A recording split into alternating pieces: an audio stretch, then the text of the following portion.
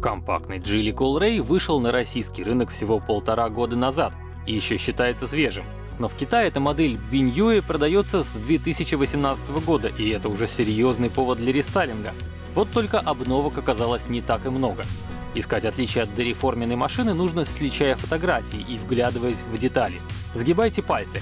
Новая решетка без хрома, но с ячейками сотами, новый бампер с треугольными боковыми воздухозаборниками и серой X-образной вставкой, Сзади новый псевдодиффузор на бампере и спойлер сверху.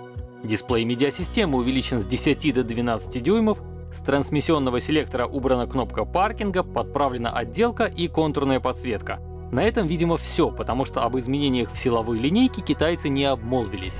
На родном рынке Биньюэ продается с собственным турбомотором 1.4 и вольвовской турботройкой 1.5. В России представлена как раз последняя, но дефорсированная до 150 лошадиных сил. Ответов на вопрос «когда?» пока нет. Китайцам обновленную машину предложат до конца лета. А вот белорусский завод BLG, который делает Geely и для российского рынка, озадачен сейчас вовсе не освоением модернизированного Coolray, а выпуском пробной партии из тысячи электромобилей Geely Geometry C, которая должна быть готова уже к концу года. Потенциальных покупателей даже приглашают оставить заявку на сайте.